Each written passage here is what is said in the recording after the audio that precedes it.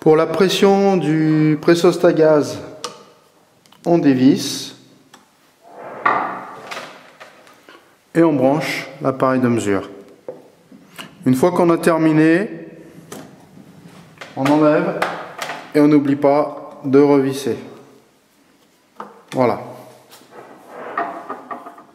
Alors maintenant, on va vérifier euh, la pression de réglage du pressost à gaz. Donc, on va dévisser la prise de pression au niveau du pressostat. Je positionne mon manomètre et je vais mettre en route le brûleur et je vais fermer progressivement la vanne pour voir à quelle pression le brûleur euh, s'arrête. Alors, je vais me mettre en demande le brûleur.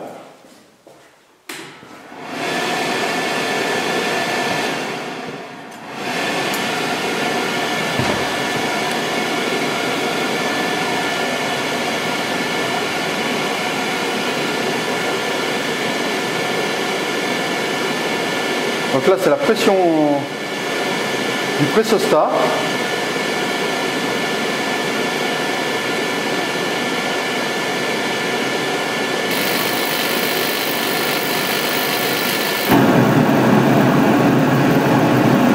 Voilà, on remonte à 18 millibars.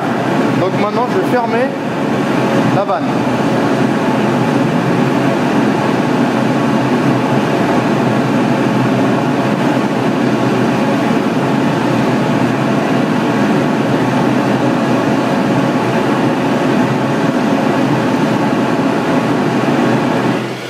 Vous avez vu, à environ 8 millibars, le pressostat coupait l'alimentation gaz. Alors pour modifier la pression du pressostat gaz, il suffit de dévisser ce boîtier. Ah, j'ai pas le tournevis adapté.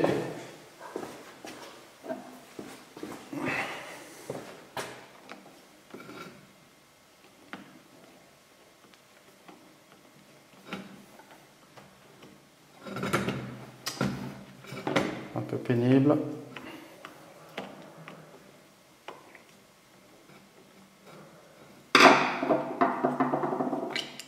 Voilà. Donc là, on accède. Voilà. Donc là, on accède à la vis de réglage. Donc on a vu qu'avec ce réglage, il coupait vers 8 millibars. On va modifier ce réglage pour modifier la pression de coupure. Donc ça, c'est la pression Hein, qui a été réglé en usine. On va se mettre là et on va voir la différence au niveau du fonctionnement.